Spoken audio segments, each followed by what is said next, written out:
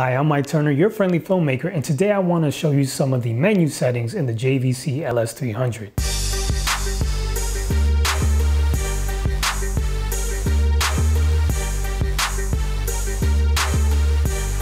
Now I made a similar video like this for the JVC 170U and it seems like the viewers liked it so I figured I would make a similar one for the LS300. And if you haven't done so already, please subscribe to my channel. I'll be doing more videos on the JVC LS300. Also, I'm going to review the Saramonic UW Mic 10 system that I use for a variety of work. And I'm going to be doing another video for the Yi 4K Action Cam where I compare using the in-camera stabilization to using some type of cheap stabilizer that you can get off Amazon. Should be a fun video, so stay tuned for that. Anyway, let's get started. All right, so let's just go over the uh, LCD screen and show you some of the things that you have here. You know, you have your, your battery life toward the top there.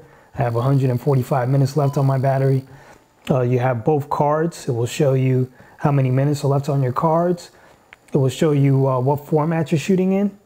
You know, 1920 by 1080 at 30p and at 50 megabits uh, per second. Then it also shows you your audio meters.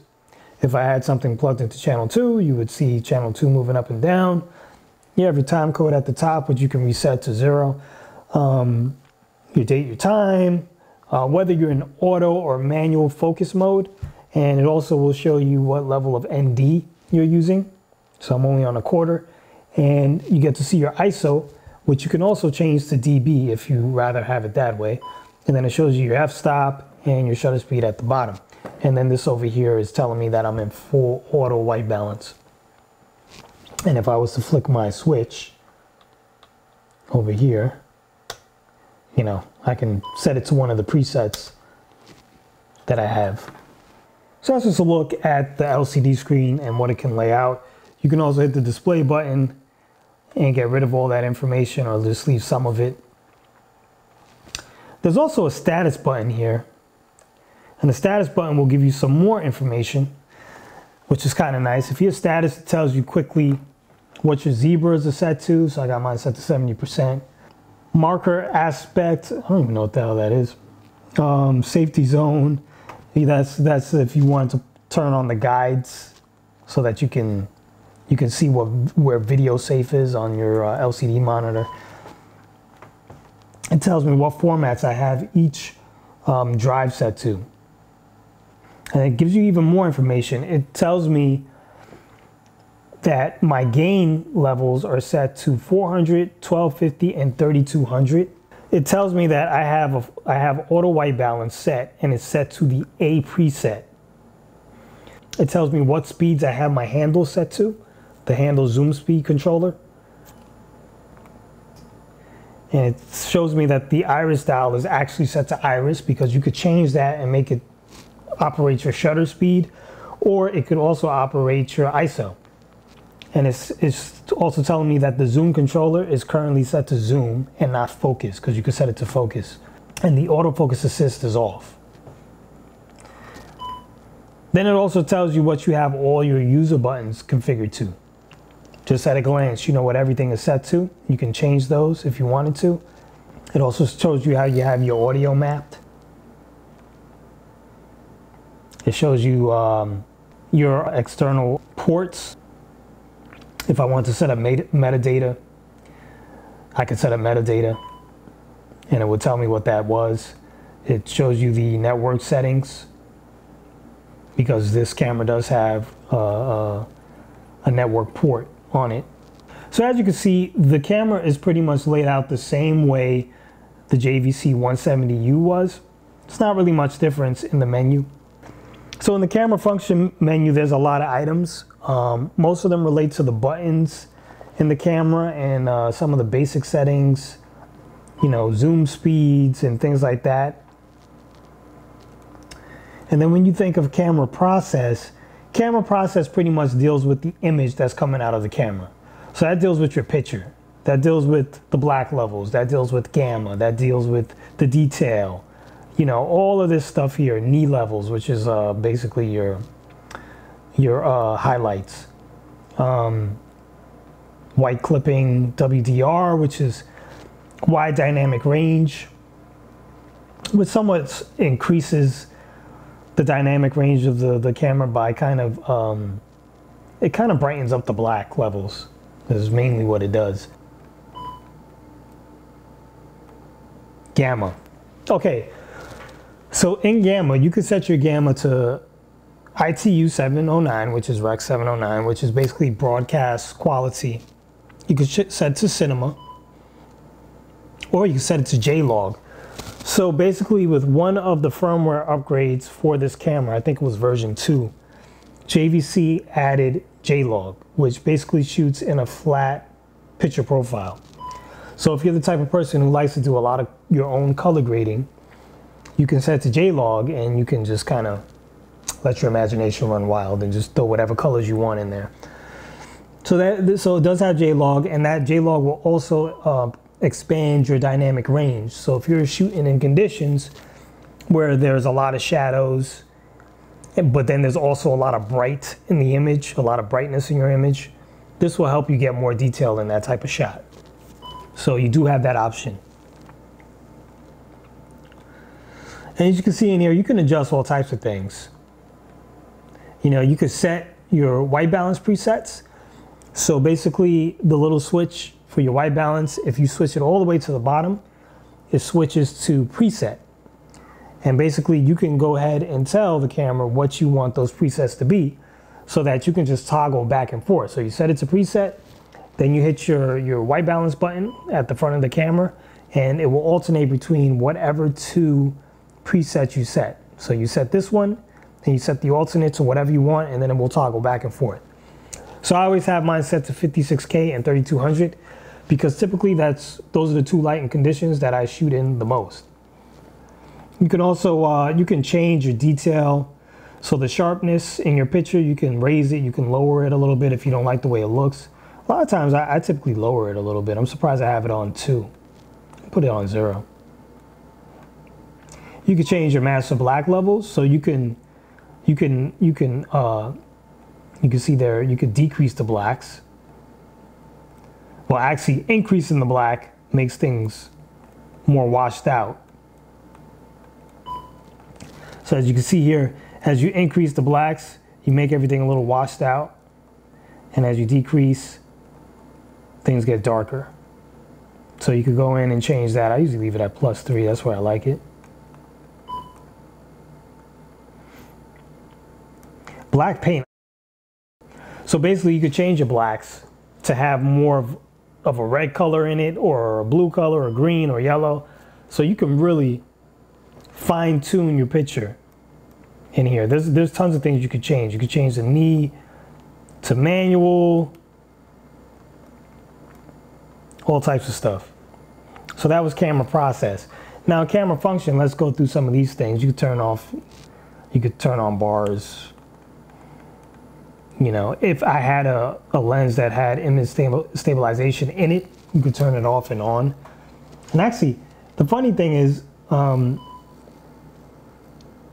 when I connect lenses that do have image stabilization, I find that this doesn't really work. It's kind of useless. You really, you just turn it on and off through the lens. It, it, this doesn't really work. Uh, let's see here. You can change the shutter to variable or step. Now, here's something that's interesting. So you have AGC limit. That's auto gain control. You only have three levels of gain. You can, you can configure them to whatever you want, but you only have three levels. So one thing that you can do is you could set one of those levels to auto, and then you could set a limiter. So if I know this camera can't really do well past 3200 ISO, then I'm not to let it go past 3200 ISO. So if you set the limiter to 3200 and then set one of those um, presets to auto, it will just set it to whatever it feels is right, but it will never go past 3200.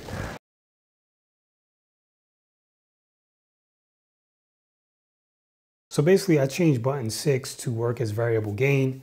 That allows me to press button six and then be able to change my gain in small increments using the up and down arrows. So I'll kind of show you what that does. Now I can use the up and down arrows to change it in small increments instead of just using the low, medium, and high. It's a very nice feature. Uh, one of the YouTube viewers uh, pretty much put me onto that because I didn't even know it existed. So here you have auto iris limit. So if you have an electronic lens connected to the camera, you can control how wide it can get. So if you know your lens doesn't do well when it's wide open at 1.8, then you can configure it so that the camera cannot go to 1.8, especially if you have your iris set to auto. That's what that's for. And it does the same thing in the closed position. If you know you don't want your lens to close down past f12 or something, you can set it. Well, you don't really have the option for f12, but f11. And here, here's where you can control the gain. So this is the gain switch. You got low, medium, and high. You only have three settings. You can control what those settings are. You can make them whatever you want. Change low to 640. And ISO, ISO 400 is the lowest ISO you can get on this camera. It does not go any lower than that. You can set, like I, like I mentioned, you can set it to automatic gain.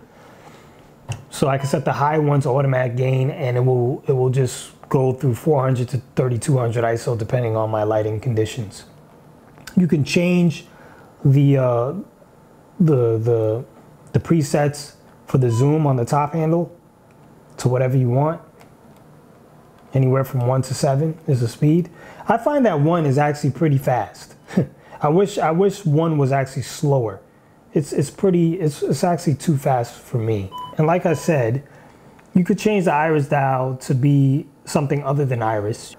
The the most interesting thing about this camera is you can set the zoom control to be VRSM or you can set it to be a power zoom.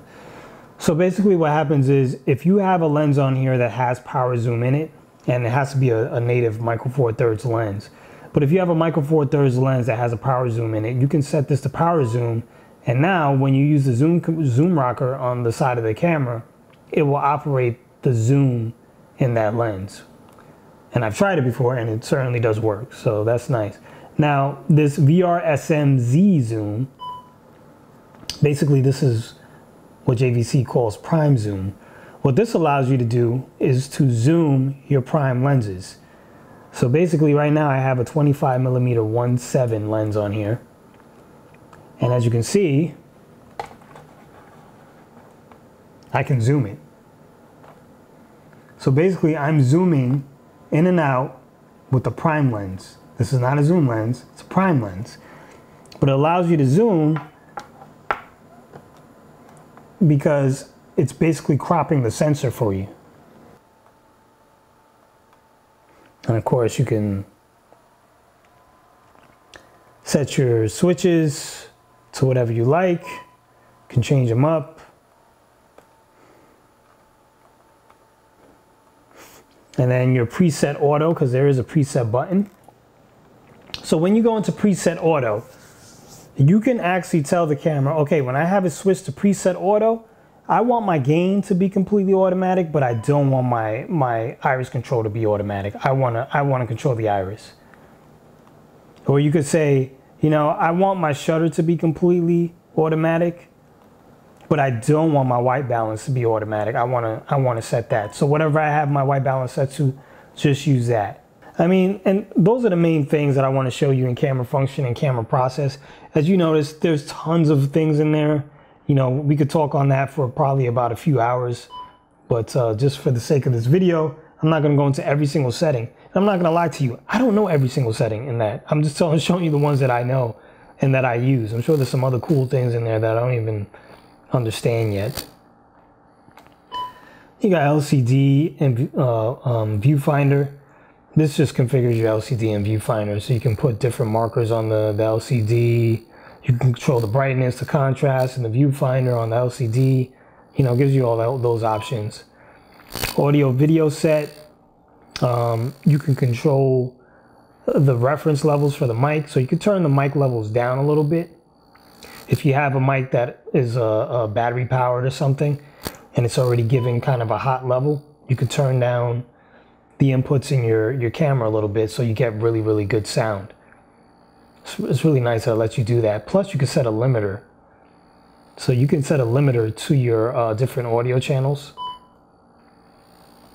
And then of course you have wind filters that you can turn on. This gives you all types of stuff. And again, it lets you to configure the preset auto. So you can switch it so that the audio is completely auto when I set it to the preset or not. And it's the same thing for full auto too. You can you can change that. And then the video set, this really deals with, you know, the um, the ports that are on the camera. This deals with your HDMI port, your SDI port, um, and all that type of stuff. So, and how it will display on your television or whatever you're, you're outputting onto. Um, you know, if you have an external monitor, this is how you configure all that type of stuff. And system. Now let's talk about system because there's, there's definitely some interesting things in system as well. So first thing, let's talk about record format. So here we go. So in the record format, you can record in HD, you can record in SD, which I don't know why anyone would these days. You can record in HD plus web, which basically records HD and a smaller SD file at the same time. So basically you can record HD and then I guess if you want to record a smaller proxy file, you could do that. I don't know why you would do that. It would make more sense for it to be 4K plus web. I think that would make more sense, but anyway, not a big deal. But you can also record in Cinema 4K and Cinema 2K. You can also record high speed. And a little bit further up at the top, you can record in regular 4K. So Cinema 4K is slightly bigger, but it gives you the option of shooting in both. Now, when you're in 4K, you can either shoot in 150 megabits per second or 70 megabits. So if you have a card that's not that fast uh, in terms of write speed, you can slow it down. You can slow down your bit rate. It's not going to be as uh, sharp and crystal clear, but it's still going to look pretty good and you can get that information on your card without a problem. I'm just going to cancel out here. Let's go back in there. So let's go into high speed because I like this. You have high speed settings in this camera. So you could, you could shoot at 60 frames per second on a 24p video. So now when you put this video on a 24p timeline, it's automatically slowed down. Nice feature. Uh, you can also shoot 120 frames per second on a 24p um, timeline. And you can see here, there's various options. You could do 30p, you know, you could do uh, 60 30p, 120 30p, 50 25p, you know, so it gives you some some options. So that's that's really really cool. Now just keep in mind when you when you use this setting and you're shooting 120 frames per second on a 24p timeline basically, what happens is it's still shooting at a 50 megabit data rate so basically, you're getting less image quality because you're shooting more frames, but you're still only shooting them at 50 megabits per second, the same way you would just shoot 24 frames per second. So you're losing quality. So keep that in mind. As you go higher and higher, you use, lose more and more quality. So I just wanted to show you those. I'll cancel out of here. And then of course you have the variable scan mapping. Now let's get into this because this is probably one of the coolest features of this camera. So here, if I had a lens on this camera, and matter of fact, I think I'm just gonna show you how this works. So right now this lens is a micro four third lens and it's really hard to see. But in the corners, I mean in the very, very tip of the corner, you'll see a little vignetting. I mean, it's so minimal on this lens. I mean, despite the fact that it's a micro four thirds lens, it pretty much covers the whole spread of the sensor. But if it didn't, I would just crop in and hit enter. And now the picture crops in a little bit and you don't get any vignetting. So let's go back there for a second. And that's all I need for this lens, 92%. but the real Micro Four Thirds range is 80%. So most Micro Four, not most, but some Micro Four Third lenses will require you to crop in this much.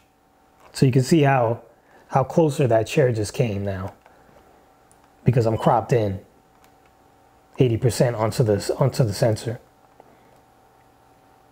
Well, really 20%. I cropped in 20. Now let's go back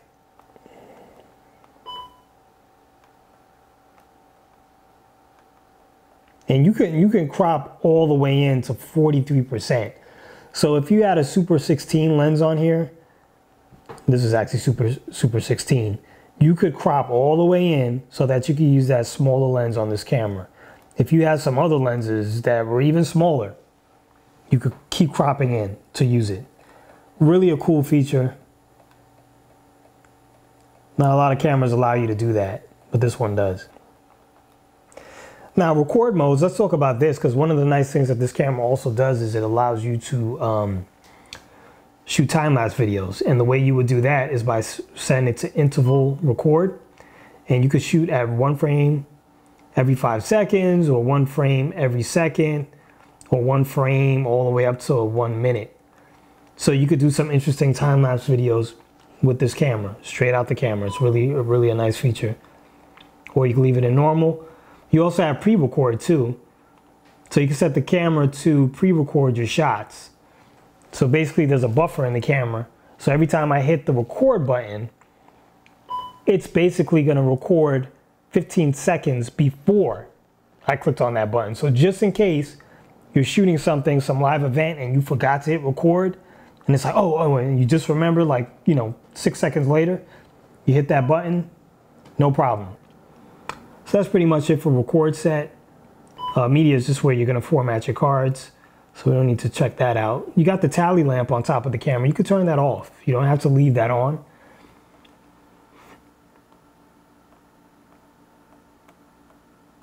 And then of course just the basic stuff here. Now that's really all the main functions of the camera that I want to go through in the menus. There's a lot of other things and like I said, there's some things that I don't even understand what they are. Uh, I think load and store file is uh, you can you can save your presets. So you can save your presets to the card. There is no card in here, so it's not going to work. But I could save my presets, and if I had another JVC camera, I could take the presets from this camera and put it on another JVC, or if for some reason I had to do some type of hard reformat of this camera or like a factory reset, I can then put my presets back into the camera. So all my color profiles and all that other stuff, I can kind of put it back in there. Um, another thing that's kind of nice with this camera, I'm just gonna show one last thing. There is a, a favorites menu that you can set up. So you'll notice at the bottom of the screen, that it says display favorites. So basically what that's telling you, if you click the display button, it's gonna save whatever that menu item is to your favorites menu. So to get to the favorite menu, you just hit display and you'll get your favorites menu. So this is what I have in my favorites. I quickly wanna get to variable scan mapping a lot of times. I quickly wanna get to formatting my media. Uh, changing the zoom control sometimes is nice. Uh, the record mode, being able to quickly turn, turn that back to normal WDR sometimes I'll use. The alternate temp for my white balance, I can change that to whatever I want quickly on the fly. So, you know, little things like that. You can put whatever you want in here. It's really nice having that menu. Um, it just makes things go a little quicker for you. So I just thought I would show you that. So there you have it. If you found that video to be helpful, please go ahead and like it. Subscribe to my channel for more videos where I'll talk about other cameras that I use and other audio equipment and filmmaking techniques and beyond. Anyway, I'm Mike Turner. Thanks for watching, and I guess I'll see you soon.